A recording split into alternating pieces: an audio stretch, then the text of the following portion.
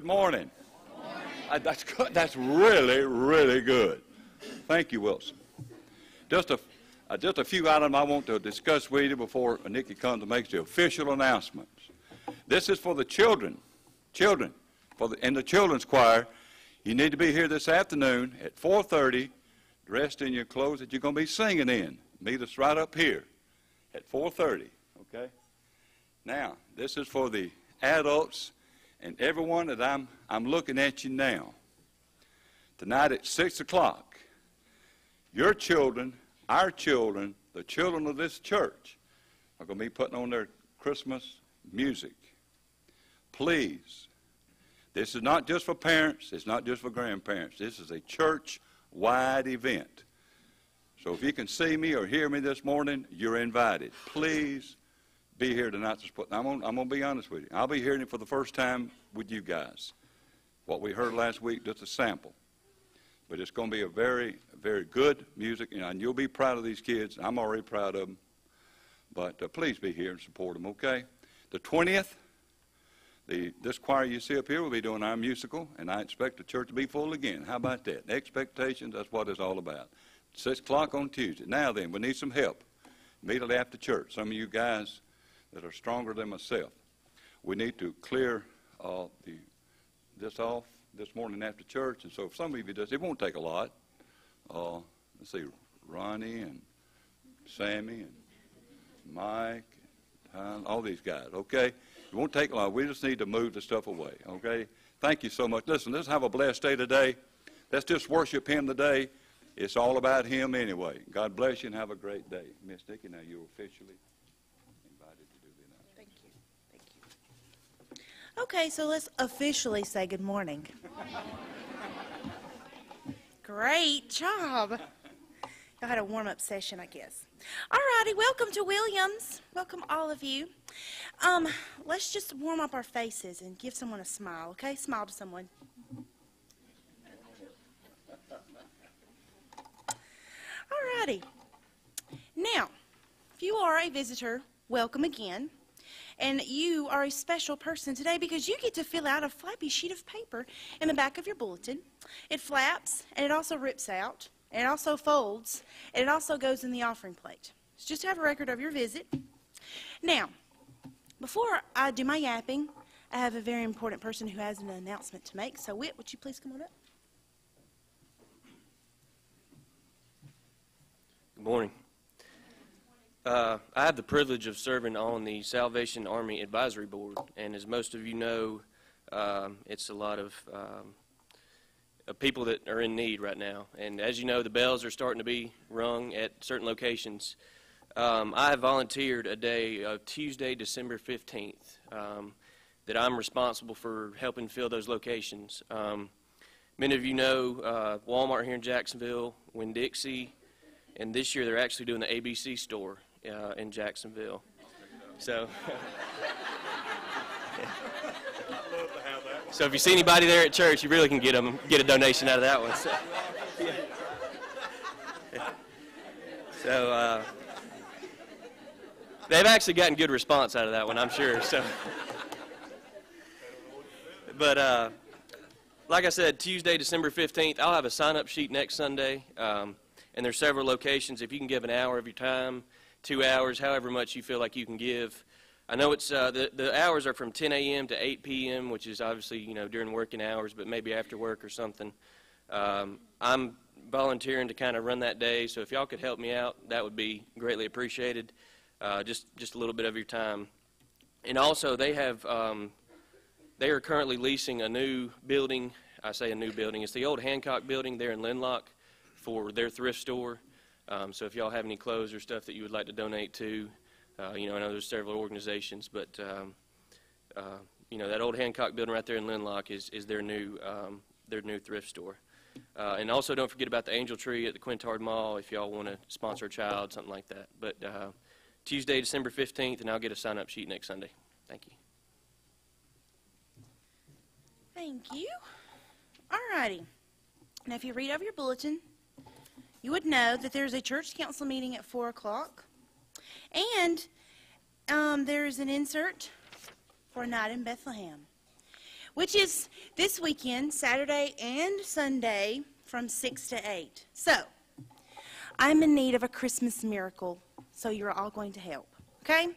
We're going to meet at 3 o'clock if you would like to help, be a part, and plan this out. We need to get everything together, get our ducks in a row. Um, but if you don't want to meet, if you would like to stay at home and make some cookies for this weekend, that would be great. Or go out and buy some hot chocolate. That would be great too. We need this for refreshments for our guests both nights. So that's double the cookies and hot chocolate. Now, last year, I know a lot of you donated for the weekend your trees, fake trees, ficus trees, palm trees, whatever, um, and your pottery, your rugs, and your baskets. Could you do that again, please? Please help the miracle out, okay?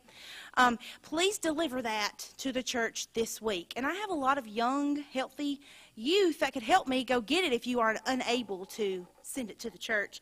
And make sure your name is put on it so we can return it back. But we are in need of all of that for this weekend to happen and to be awesome, okay? So cookies, hot chocolate, pottery, rugs, and baskets and trees. Okay? So, y'all have been sitting too long, and I know you've seen someone you want to hug this morning. You had to have seen someone. Get up and go find that person and hug them really tight. Go.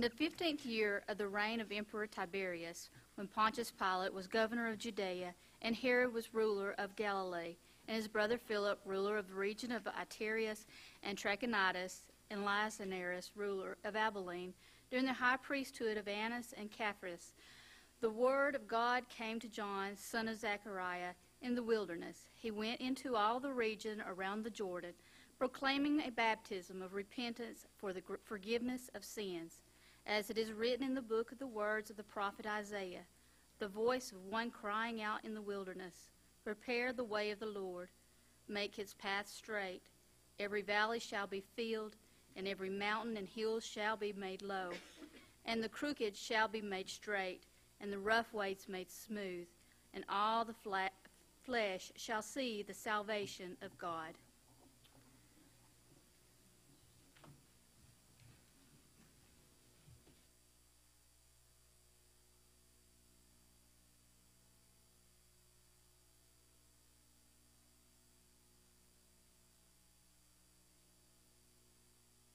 is not new to me, but it may be new to some of you. And as I, at work, I go over this some because most of you know my job is in a labor and delivery unit, so everybody thinks I have a wonderful job. But it wasn't until Friday when I was had a little Hispanic girl that uh, speaks no English and I speak no Espanol. So we had a hard time communicating as we usually do. But when she held that baby for the first time and I saw the look in her eye, it was the same look I had for mine. It was the same look I've had when Mike and Mary had theirs and I saw that look, or um, when Holly or Jessie Kate or any of these that I've been there when you've had your children. It was, you know that look. And when I, she held that baby Friday, I thought, that's what Mary looked like when she held her baby boy.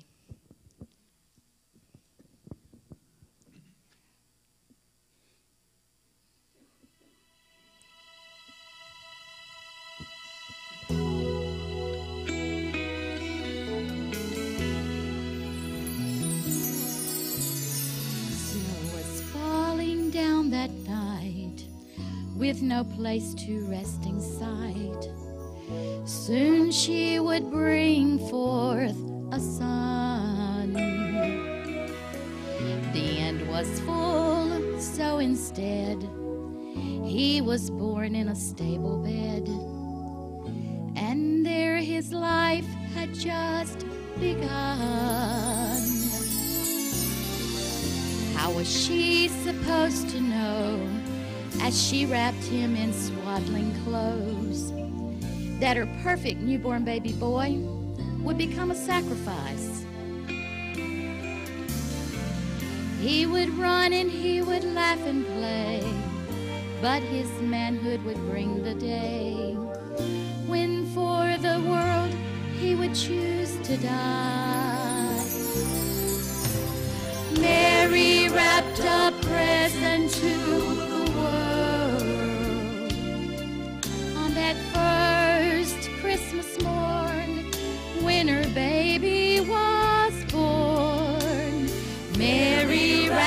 a present to the world.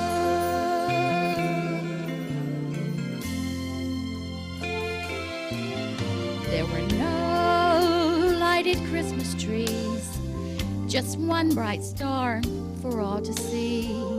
The way to Bethlehem that winter's night. Many gifts they brought to him, but a greater gift gave to them. For through her son would come eternal life. Mary wrapped a present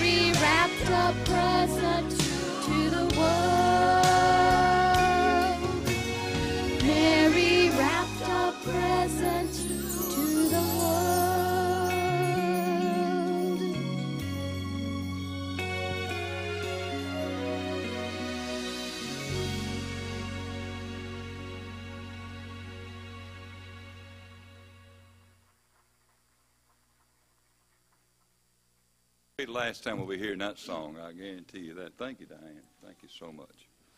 Well, scriptures tell us to go tell it on the mountain. The song says go tell it on the mountain. So let's sing about it. 138. 138. Let's go tell it on the mountain that Jesus Christ is born. Stand with us, please. Stand. Everyone sing it. All three stanzas.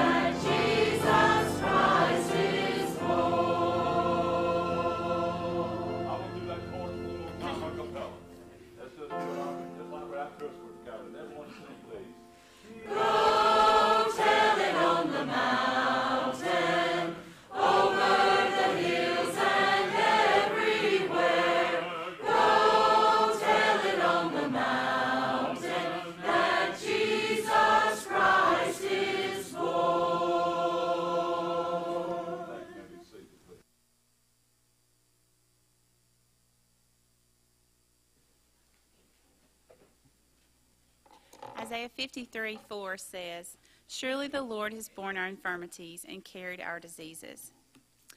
Around the room, those living with AIDS shared their faith stories.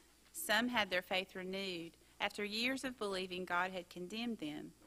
Others were just beginning their walk with Christ and shared the power of God's love and mercy. This group, led by CBF field personnel Ronnie Adams, gathers weekly at an AIDS service center in Greenwich Village, New York City. Pray for these dear souls who want to know God. Tori Wentz, another CBF field personnel and a registered hospice nurse, works in Addis Ababa, Ethiopia, with individuals dying with cancer and AIDS. Pray that her patients would experience God's love and relief from suffering. Pray that God would grant wisdom to Tori and her colleagues as they seek to serve many more in need. Pray with me, please. God, during this season of Christmas and Advent, we look for you and we experience the way that you entered the world at your birth, but we ask for you to enter our hearts again and remind us of the wonderful things that you do among us and in us. We pray for these two who work so sacrificially and give so much of themselves to those who are suffering in a great way. Help us to minister to those around us and to provide our prayer and financial support to those who serve as field personnel. We pray that you um, be with us near during this Christmas season and help us to experience you so that your love and grace can be shared throughout the year. In your name I pray. Amen.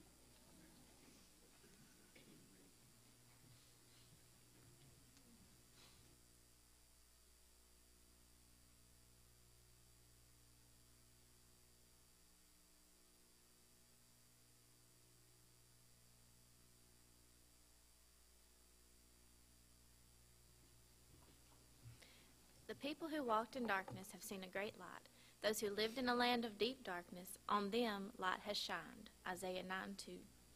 This is the second Sunday of Advent. Today we light the angel's candle that represents peace. Scripture tells us of the angels who sang about God's peace offered to all people through Jesus Christ. This is the peace that surpasseth all understanding and guards our hearts and minds. Imagine hearing the angels sing. What would it have been like to hear their song of good news? We can still know the peace of God in our hearts. This year, let us listen for the ways God might want to sing peace into our lives, and may we try to be peacemakers in our world today. Glory to God in the highest, and on earth peace, goodwill toward men.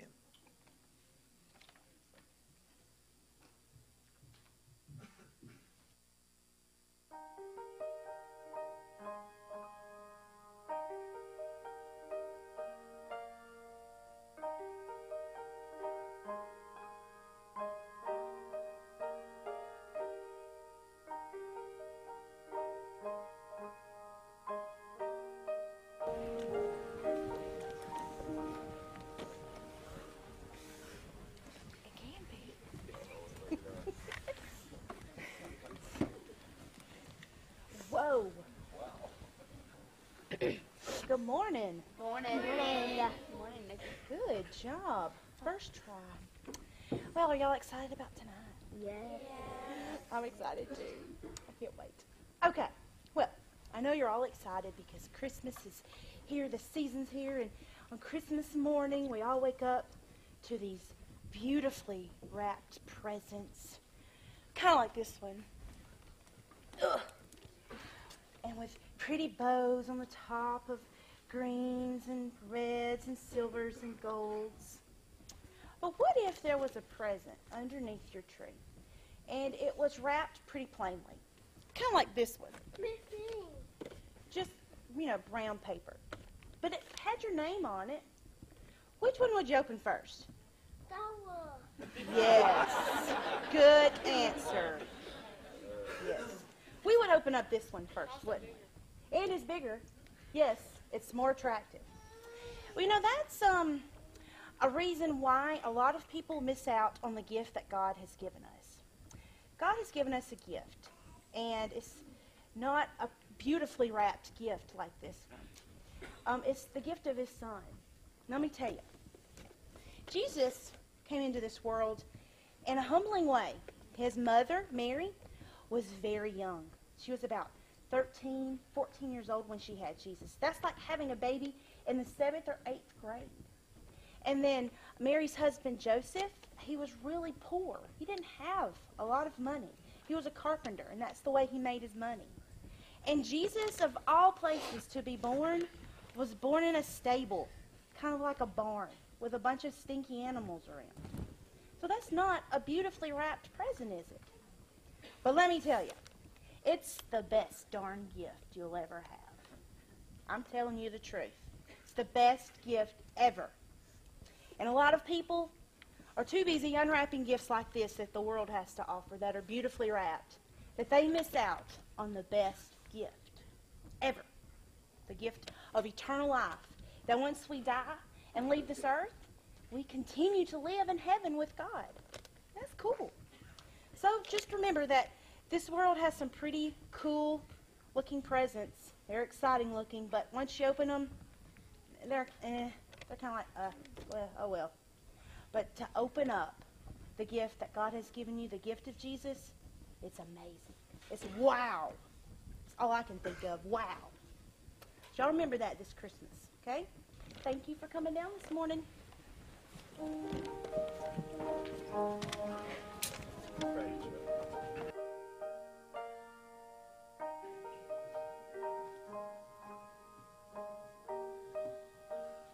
But your children need to go with your leaders, be choir practice, getting ready for the night. Man, isn't that a great looking sight? All those beautiful children. My goodness. The offertory hymn for the morning is 297. I love to tell the story. 297, we're going to stand and sing all three stanzas. All three stanzas. Join us, please, as we sing. 297.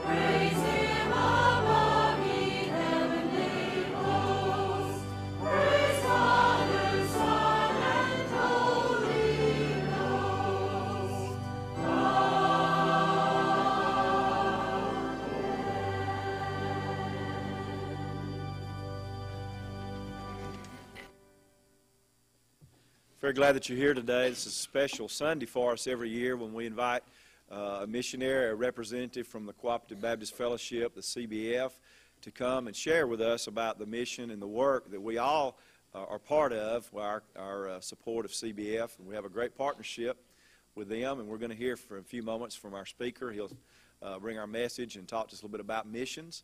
Uh, we know that during this uh, time of year, uh, it is very important for us to think about missions all the time, but in Christmas, we think about missions in a very special ways. We think about the mission of God sending His Son to us, and uh, mostly during Christmas, we are very generous enough to give to the Christmas offering for missions, and I hope that we'll continue that tradition here at our church.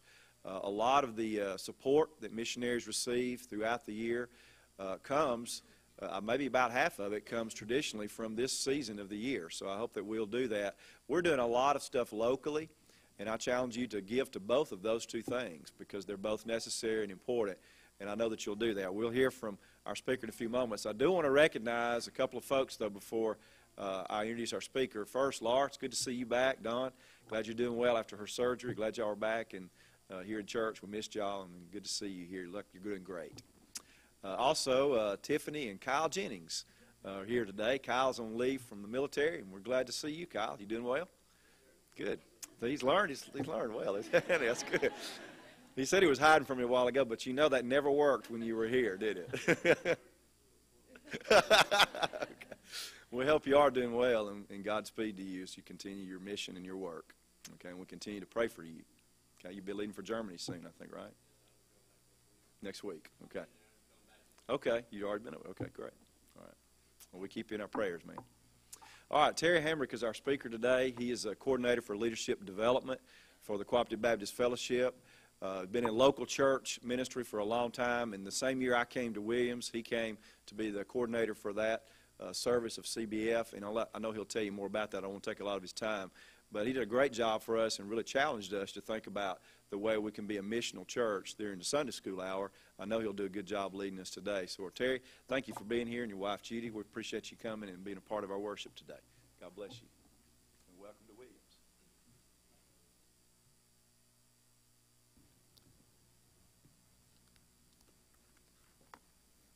If you have a Bible, I'd like to invite you to turn to the Gospel of John, the 20th chapter. 19th verse. John 20, 19 and following. Hear the words of the evangelist.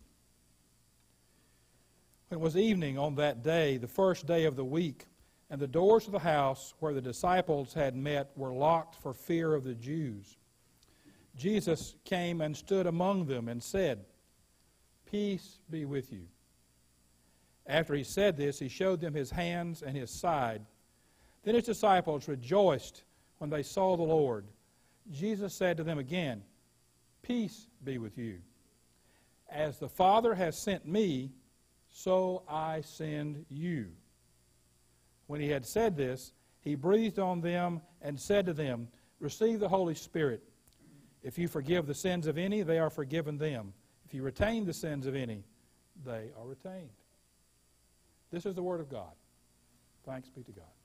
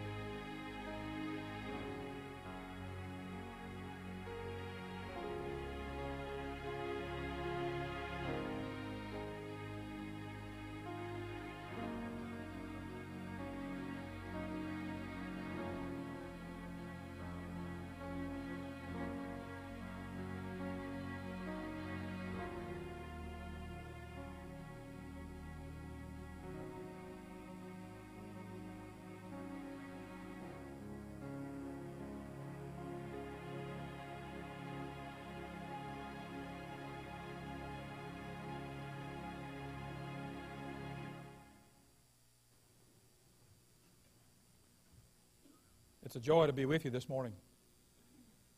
It's always a delight to be with people who are enthusiastic about their faith, people who care, and people who obviously care about one another. You're a fortunate people in many ways. You're fortunate to have Mike Oliver as your pastor. He didn't pay me to say this yet. He's also smarter than I thought, strategic, because I put it together. I realized that he was planning ahead, and if a certain football team had done poorly last night, he wouldn't have been able to give you anything. and if they won, you couldn't stand him. Uh, he would just go on forever. So he was real strategic in planning this. So I'm, I, I, all kidding aside, uh, I'm delighted to be here. I, I want to say from the very beginning, thank you for the partnership that you have taken seriously with Baptists around the world, and part of that partnership with the Cooperative Baptist Fellowship. I had a delightful time in Sunday school this morning. I had a good time, and I hope some of you did. But uh, I want to share with you a little more in depth at this hour. We read the John 20 passage. Jesus said to his disciples to go and do what he had done. I've done it. It's your turn. God's mission is best understood in the person of Jesus Christ. You and I have been and are being called. You know Matthew 28 19 and 20. We have been given the Great Commission. We have been commissioned and called and said, Go. You and I have been gifted. In the Sunday school hour, I read the first 16 verses of the fourth chapter of Ephesians. I won't take time to do that now. But in that chapter, Paul is saying, You have been gifted. You have been called, and you have been given gifts to fulfill that call. 1 Peter 4:10 like good stewards of the manifold grace of God serve one another with whatever gifts each of you have received. We have a variety of gifts. I've seen those already today. Several of you have the gift of hospitality. And I enjoy that very much. Some have I've seen the disaster relief trailer, and some of you are involved in disaster relief and response. Those are gifts. There are a variety of gifts. If I were around here a little longer, I would find obvious, obviously more and more. But you and I have been called and we've been gifted. This is not new. This is not changed. God calls us, God gifts us. The world you and I find ourselves is new. It is a different world. This world calls you and me to personal accountability. God's calling the church is no longer adequate. God's call is being issued to you and to me. We are being challenged to a new understanding of what it means to be the people of God in the world. Unfortunately, and I haven't been uh, with you that long, so I can't talk about you directly, but I will soon. Uh, I'm in a lot of churches. And unfortunately, too many Christians have succumbed to what I call the triple S disease. You know about that? Sit, soak, and sour. We just can't be stuck there. The needs are too great. The calling is too compelling for us just to sit in church, soak up all the good things, and then if you're not active, if you don't move around, it inevitably happens. Things start to go sour. We start thinking about ourselves, and we start thinking about, name it, just name the, the trivia that churches get fixed on rather than focusing on the commission and the gospel of Jesus Christ. Here's a question for the morning How am I going to respond to God's call? How are you going to respond to God's call? The world calls for a holistic response. We must care about persons, not just about statistics. We are being called, we are being gifted. Hear the great commandment, Acts 1 8. But you will receive power when the Holy Spirit has come upon you, and you will be my witnesses in Jerusalem, in Judea and Samaria, and to the ends of the earth. Now, that's not the first time you've heard that. I'm here to ask you this morning to focus with me on the ends of the earth part of this. Mike has already said, and uh, it's obvious you care deeply about your community and the area here, your, your Jerusalem and your Judea. And that is crucial. I am not holding up one against the other. What I'm saying to you is this commandment is for all. It's for our local concerns and our global concerns. And my task this morning is to talk to you a little bit about the global perspective, the global picture. In Sunday school, I talked a lot about even there the, the idea of how you can be involved locally and, and globally. We have an urgent task, you and I. 300 million more people around the world are living in poverty now than when the global recession began. 300 million more people are now living in poverty than, than were 18 months ago. That's a challenge. That's a, that creates all kind of issues. Our call to reach them with the gospel and the love of Christ is more urgent than ever. We are in a time when congregations are engaging in global missions in new and meaningful ways, and we celebrate this. Partnering with other churches to have, to have concern about certain uh, focus. At the same time, our field personnel are essential to engagement of churches in these global mission enterprises.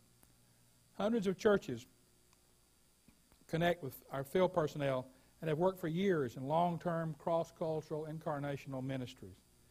Without the presence of these persons on the field, your congregation's connection to God's mission would be incomplete. You would not reach the ends of the earth. I'll tell you a few stories. We have, I'm fortunate to be in the Atlanta office, and every so often, field personnel cycle through as they're coming in for a home field assignment or they're reassigning and they come in for debriefing and discussion. And I hear some stories. Let me share a few brief stories with you. Phil and Diane told of helping undocumented workers on the backside of a horse racing track. These people were lonely, poor, hardworking, and living far away from their families and friends. Christy, a young woman, told of helping very poor young people in a community uh, have a vision for becoming better people by making good choices in life. She encouraged the teenagers to go to school, to study hard, avoid repaying hurts and slights with retaliation, and to trust Jesus as their Savior. This worker comforted teenagers the week before she left the field who were traumatized by a drive-by shooting just a block and a half from their house. Todd talked about losing a close believer friend who was gunned down after stepping out of his office near two mosques in the capital city. He shared how this sudden loss had impacted his whole his family, his friends, yet firmed up his determination to continue to live and work in that city. This family, they did homeschooling together, and they were close family, and he was shot and killed. Brenda told of working with local believers to run a center which children suffering from cerebral palsy have a place uh, uh, where people care about them. And in this culture, they had no concept of providing treatment for children who suffer from physical and mental handicaps. Bob and Janice spoke about working among immigrants who had left their home country to find work and a better life for their children. They provide a place for immigrants to practice their native language, display their artwork, and meet in safe places to celebrate their faith. John and Casey shared having just spent three years helping provide clean water for desperately poor people in a region known to be resistant to Christianity. To be resistant to Christianity is putting it mildly. It was shocking to learn how deadly the water was in that region, this region of the world, and it was it was the only source for cooking and drinking water they had. You hear the variety of ways that your field personnel are being the presence of Christ around the world, reaching the ends of the earth. One other I'll, I'll mention Ronnie Adams' name was mentioned in the missions moment a minute ago. Ronnie is a CBF missionary in the Hell's Kitchen area of New York City. Not a place you really want to live. He ministers to uh, a variety of people, including a number of uh, AIDS patients and HIV positive people. But Ronnie came down to Anderson, South Carolina. You think, well, if you come from New York to Anderson, he, that's quite a switch. He comes to Anderson to Boulevard Baptist Church, my wife's home church, and and worked with them in summer camp. He was a resident missionary for their summer camp for their kids, and for the for the community kids. And as Ronnie tells, he befriends a little girl who came each day. After four days, she whispered in Ronnie's ear and asked him, Ronnie, do you have your own pillow? Ronnie replied, Yes, I do, sweetheart.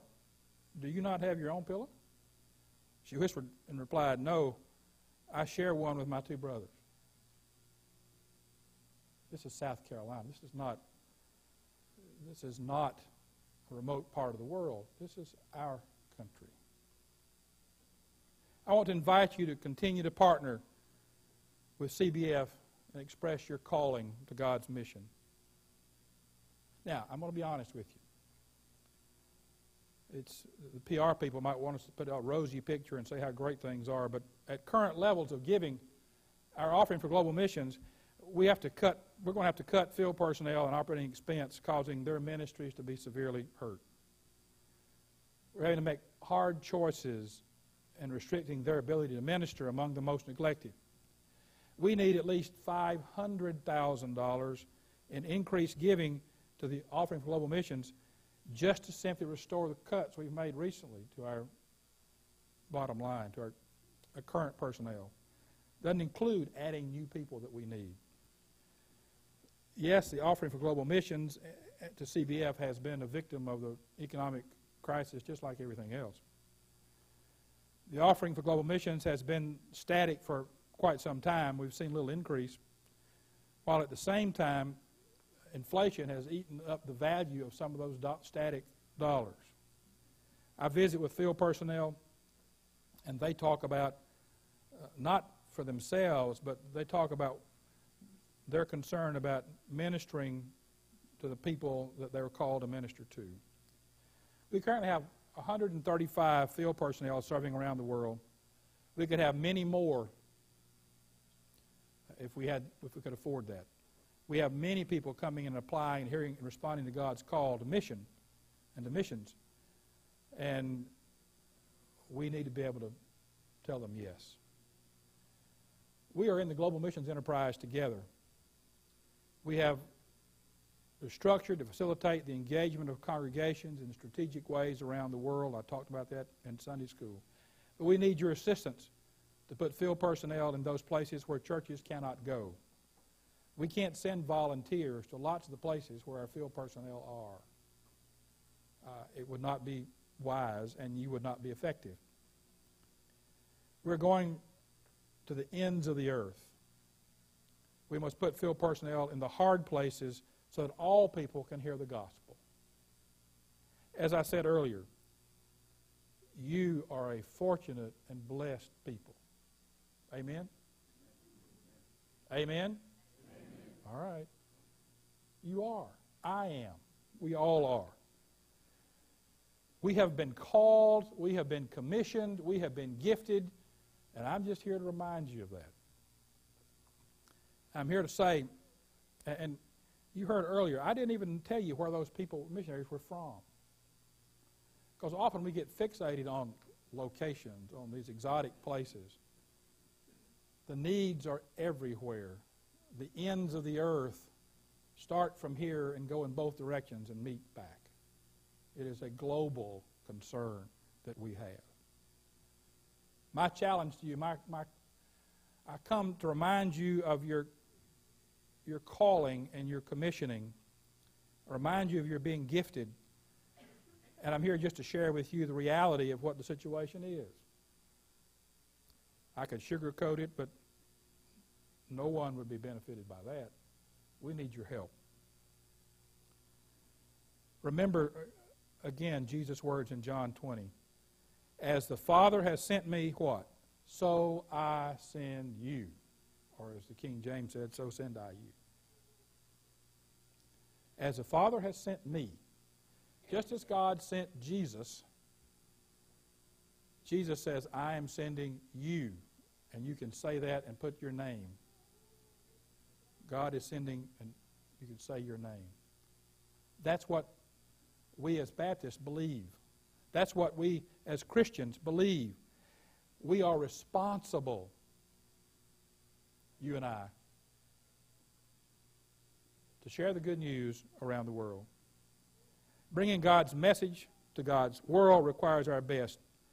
I stand before you this morning speaking for those voices you cannot hear. Persons in the hard places that need to hear the gospel and to see the gospel lived out in their midst. You have done great things in partnering with us. You do great things in your local community and in your local uh, work. And I come to thank you and to tell you how grateful I am for that. But I come trying to paint a realistic picture of the tremendous difficulty that many people are under. People have never needed to hear the good news of Jesus more than they need to hear it right now. You and I are being called to join in that mission, God's mission. I want to thank you for letting me be here and be with you this morning and to enjoy the fellowship here and enjoy the getting to know you and getting acquainted with this fine church. As we conclude, I want to invite you to think about your decision that you need to make today. Now, I'm, I'm this outsider. Who am I coming here trying to tell you what to do? I'm not trying to tell you what to do. I'm, trying to, I'm offering you an invitation. As you think about your Christmas celebration, as you think about how you honor the gift of the baby Jesus that we see displayed so beautifully here. One of my concerns is at Christmas we, we have domesticated Jesus and kept Jesus as a cute little baby in a manger. That's safe and cute. But we know the rest of the story. We know that Jesus calls us to be His presence in the world. I'm asking for you to help us be the presence of Christ in those hard places with the most neglected people in the world, in the hardest places where the gospel is so desperately needed. I ask and invite you this morning to think about how you can participate in your global missions offering, in your commitment to sharing with people in this community, in you rolling up your sleeves and saying yes to God's call, to being a bell ringer for the Salvation Army for caring about people who need to hear the good news and to see someone whose words and actions match up. I need to see that, don't you? I hope that our brief time together that you're hearing and I'm asking you to make a response wherever you sit. There may be some that need to are looking for a church home. Boy, this is be a good one. You can drive all the way from Oxford to come here, right? I mean, this is a good, a great church. I'm envious. I'm standing in, in the pulpit and I'm saying it. I'm admitting I'm envious of the fellowship I see among you, the care I see here. And if you're not a part of that group, you ought to run down this aisle to be a part of this, to be a part of this fellowship. God may be speaking to you in a number of ways. And the pastor will be here to hear your response. My invitation is for you to remember the gifts that you've been given. Remember the gifts you've been given. Remember the response, the, the, the command and the commission you've been given. And I hope that during this Advent season, you will find ways to be the presence of Christ. Hope you'll determine right now where you're sitting. I'm going to find ways to be the presence of Christ in this Advent season. Join me in prayer.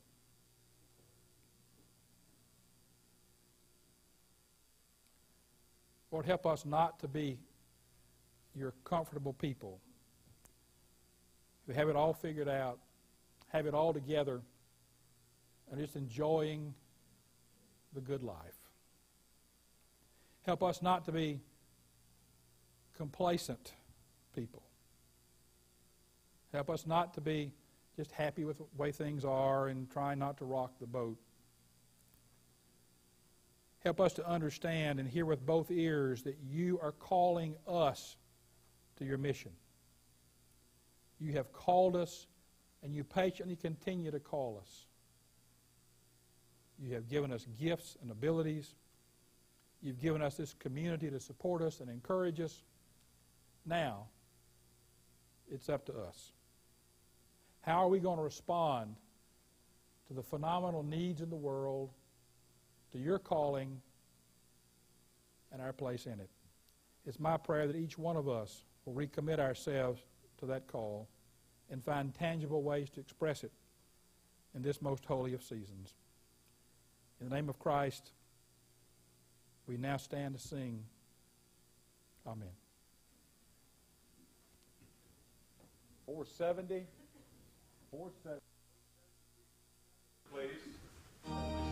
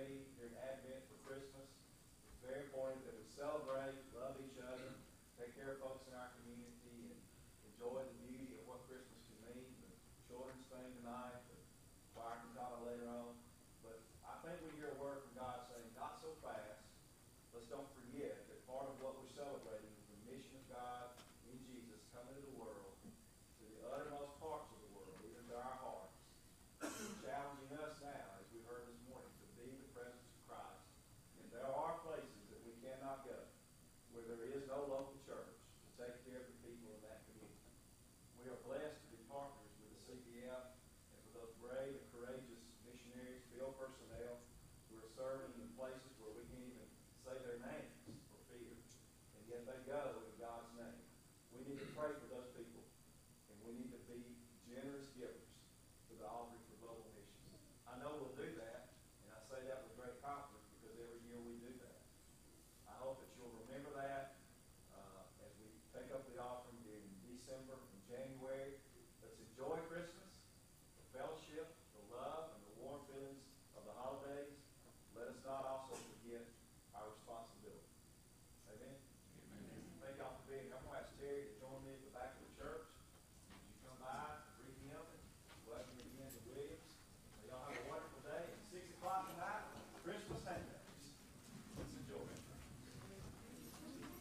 some of the guys, if you would, hang, hang around a few moments, help us.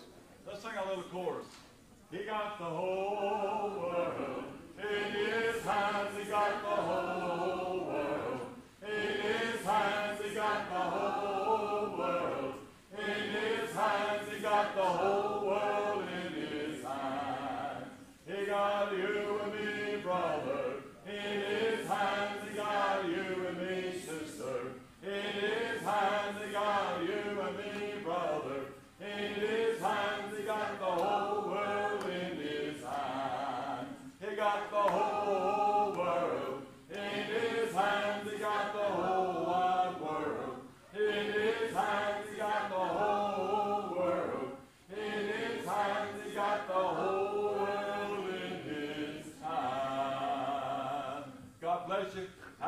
day. Sing tonight.